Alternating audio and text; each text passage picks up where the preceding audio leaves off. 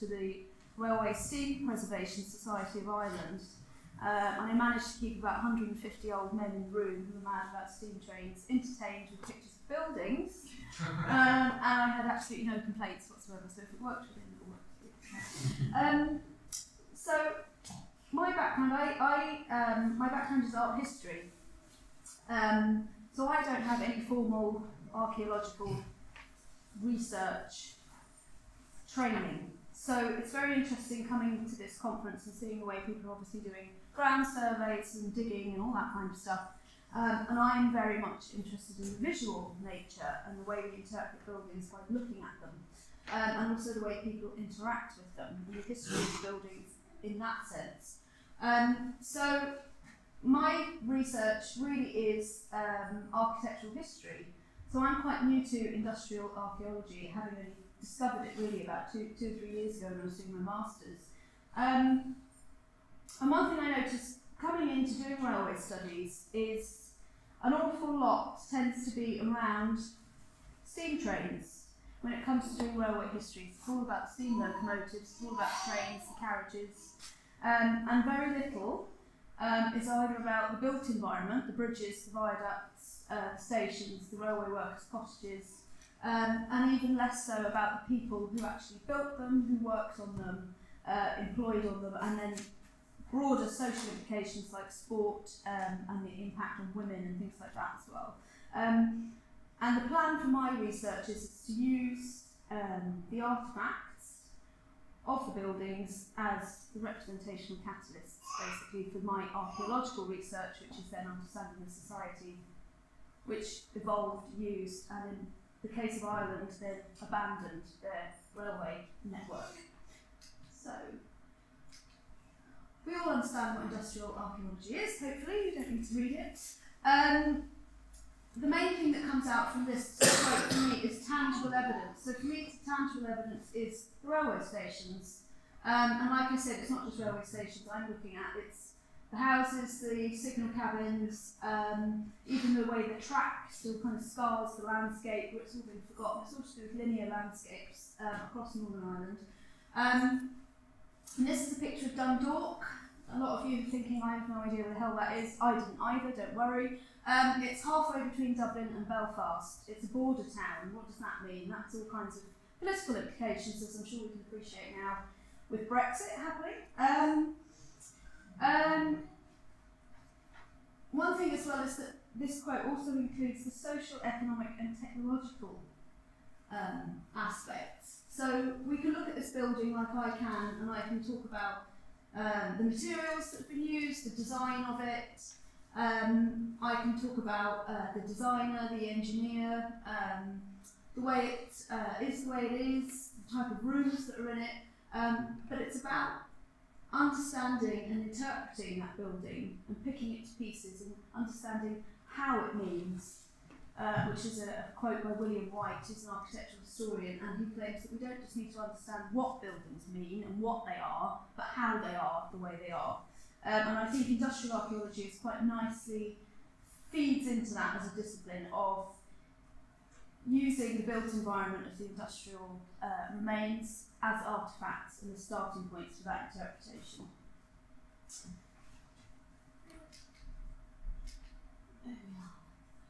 Um, and what, again, this comes back to this idea of uh, conserving the industrial past. Like I said, when it comes to railway studies, um, it tends to be about preserving steam locomotives. There are um, preservations of um, train stations, but again, in Ireland in particular, a lot of the train stations aren't listed buildings. Um, a lot of the um, houses aren't listed buildings.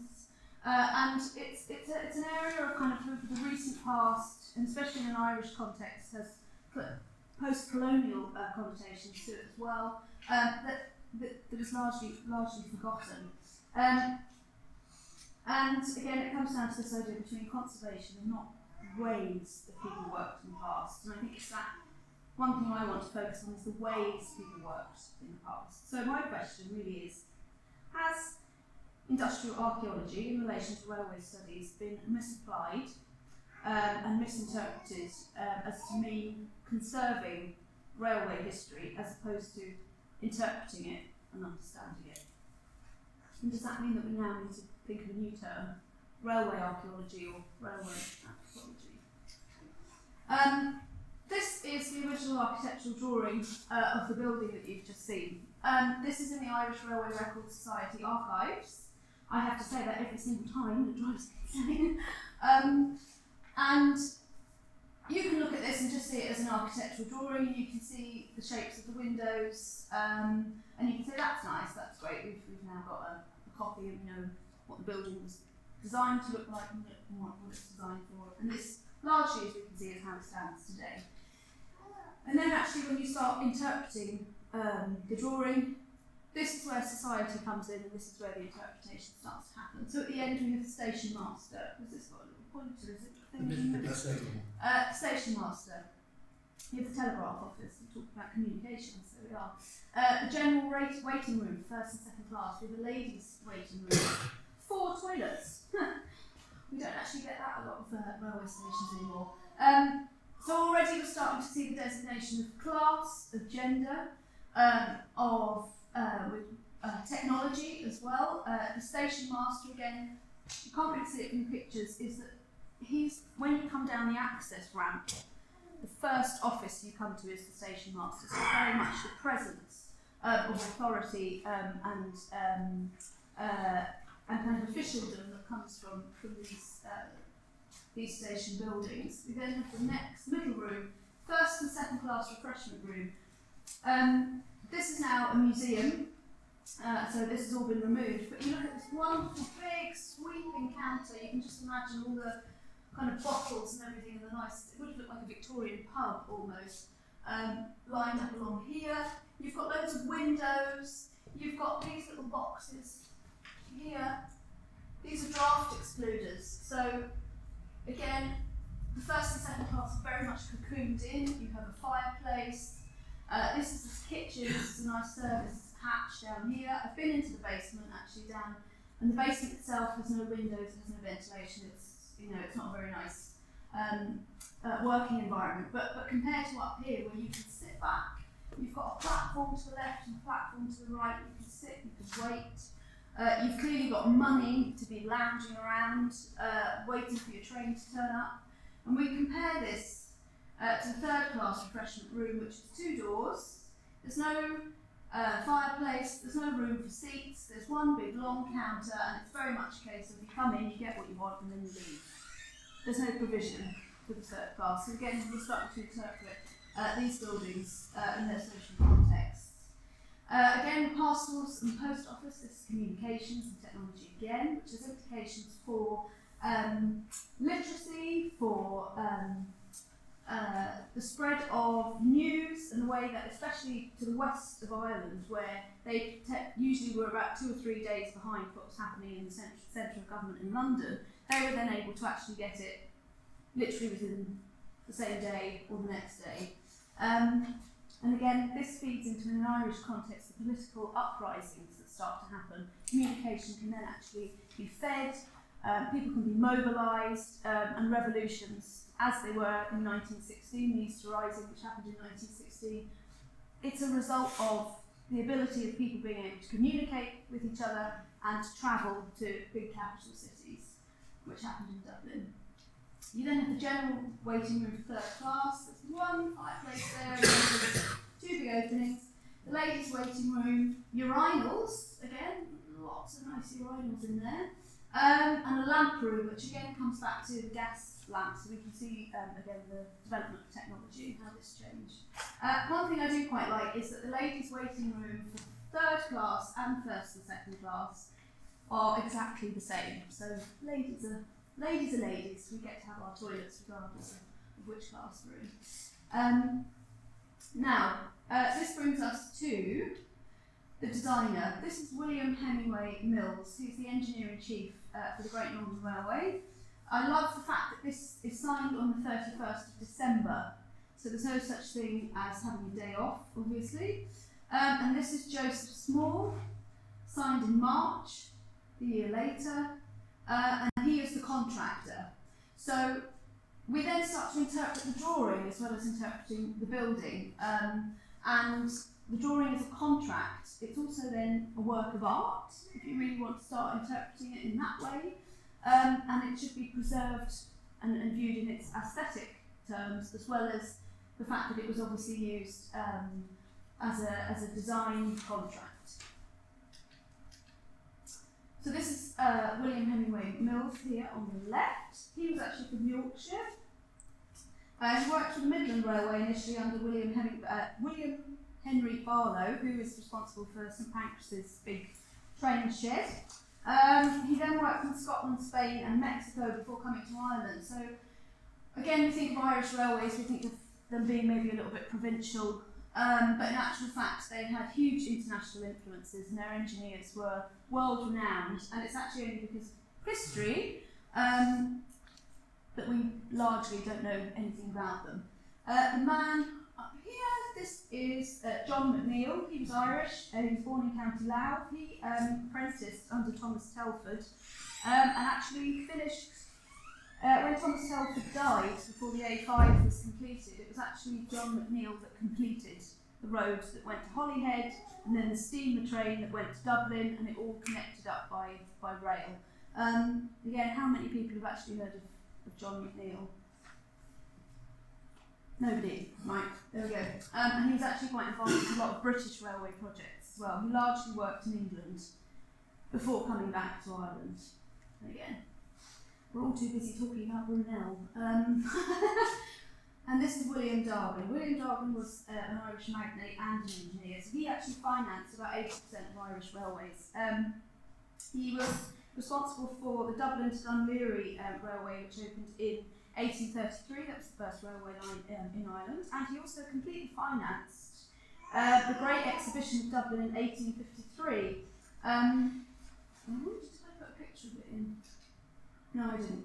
Um, basically, a massive replica of the Crystal Palace was built in the centre of Dublin. It's actually, if anybody knows Dublin or is planning on visiting, um, it's where the National Gallery of Ireland is situated now, uh, which he subsequently, when the when the exhibition hall was dismantled, funded um, the National Gallery. There's a Dargan wing um, in the gallery, and there's also a nice uh, statue of the man himself outside the front. Um, so we also then talk about people. By and large, railway studies focuses on the engineers. What about the people who actually built the railways? Uh, especially in an Irish context, navvies are incredibly important. They not only worked in Ireland, they worked in England, um, which again, they kind of just get a side mention. Um, and in actual fact, they made up about sort of 70% of the workforce. They were paid half as much. Um, they also built the Union um, Pacific uh, Railway in, uh, in America along with Chinese labourers. And Chinese labourers were paid in opium, um, and the Irish labourers were actually paid. But again, what they used to have is um, they get paid in, in, in vouchers, and those vouchers could only be um, used in the local bar, and then everybody wonders why the Irish are famous for drinking. Um, along with employment, then you have uh, workers' rights, you have insurance claims, rise of trade unions, health and safety at work, all this kind of thing. Uh, I love this picture, this is fantastic. Um, this is an employee, I mean, you look at his uniform, the man's obviously very happy in his job. Uh, again, there's social status, there's power, the station master would have actually had a house as well. Um, so again, the architecture is uh, is reflecting um, uh, the, people that would have worked um, on the railways. And also one thing is women. Um, there were female employees of the Great Northern Railway. They were largely clerks. They had their own designated female working offices, which I actually think is quite a nice idea. Um, but they had to do psychological tests, whereas the men didn't. And I am yet to find out what the questions are, but there were three of them. Um, and there's one uh, results page where one woman scored five out of five for all of them, and one woman got zero, one, and zero, and subsequently obviously wasn't wasn't offered the job. Um, and I wonder what the what the tests were and what she, she was obviously unhinged and didn't want to employ her. Um, this is at Kildare station, and this man, the man from Del Monte, is selling bananas, oranges, and apples. Um, and I love this idea. This is in 1935. Uh, and we've got Denny's, which are famous Irish sausages, um, being advertised uh, in the background. So it's all to do with diet as well, and uh, the availability, because of the railways, of, of foreign and exotic foods. Um, and this is the GNRI standardised butter wagon, uh, which again changed homesteads as well. It meant people could have access to, um, they could buy butter basically instead of having to, to produce it themselves. Again, the impact on women, uh, freedom to travel, uh, something's going on there. She doesn't look very happy. Um, she's obviously running errands. All the kids moving out the window. I think it's an absolutely fantastic picture. I love that. Um, and then we also have tourism, the Great Northern Hotel. So all the railway companies used to build their own hotels um, and then advertise them. And they also used to build golf courses. So then we have impacts on sport. Uh, and it's interesting. This poster is designed by Margaret Horder. So we have a female artist depicting women playing golf and going swimming in the west of Ireland. So all of these impacts all come from, from railway studies. And I can't talk about Ireland without, of course, mentioning famine, and all the British people in here, including myself, can shift uncomfortably in their seats. Um, the Great Famine was from 1845 to 1849, um, but it has lasting effects even to this day, politically in particular. Um, some um, some historians have actually called it genocide by the British, who were the landowners at the time, uh, with de deliberate acts of evictions, starvations, um, and land clearances. Um, the trains aided this, Um, the henchmen, if you like, uh, of the landowners could uh, travel much much more quickly to these rural areas um, to actually evict people, and also um, uh, evict people from the country and send them off to places like Australia because then they can actually be quickly and easily shipped out of the country. Um, so, do I have time? Um, how long have I got left? I'm just going to. Seven minutes. Seven minutes. That's fine. Yeah. So I'm just going to read an excerpt. Um, this is from uh, a book by Tom Ferris, which is about um, the history of Irish railways, and this is about immigration. Another theme which emerges from writers who recorded their journeys by rail around Ireland towards the end of the 19th century is the all-pervading presence of emigration, with seemingly every train on which they travelled witnessing heartrending scenes as children left their, their parents sorry, uh, for maybe the last time to seek some sort of life away from the economic wasteland which was post-famine Ireland.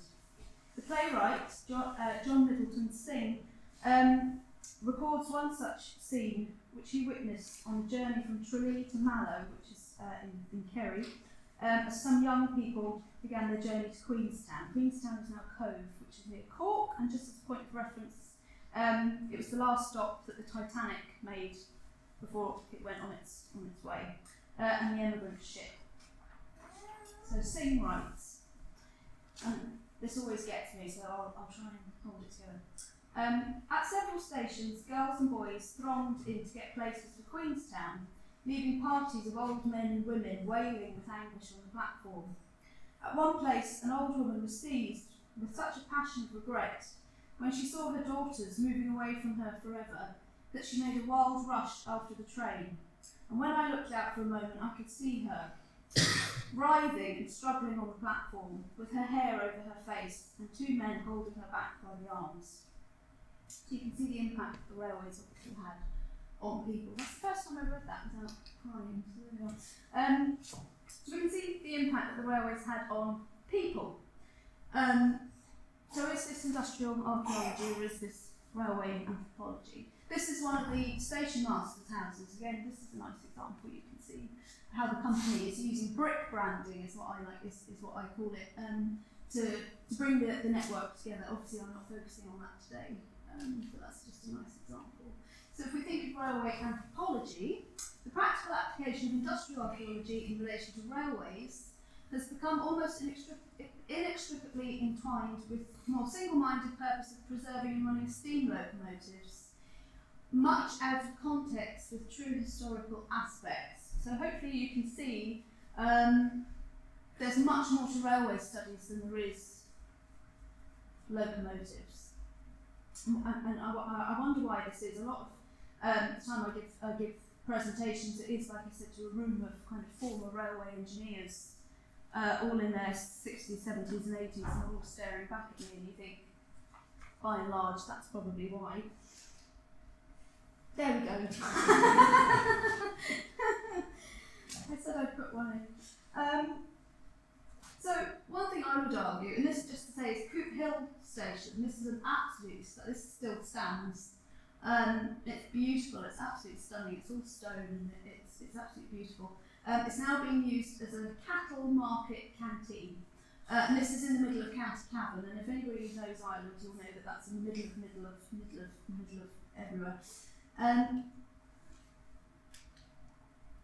I would argue that industrial archaeology is people rather than things. Um, and therefore, the term like railway archaeology or railway anthropology isn't actually needed.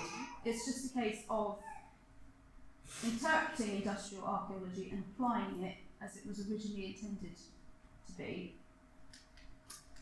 So, just to summarise, has the definition of industrial archaeology been misinterpreted as the study and preservation of technology rather than of the society in which it was created? And could anthropological approaches to railway studies be the truest application of industrial archaeology, meaning a new term is not required, but the original methodologies be applied? I was going to say correctly applied, but I think that kind of infers that industrial heritage then isn't correct, and I don't I don't think that's I don't think that's that's true.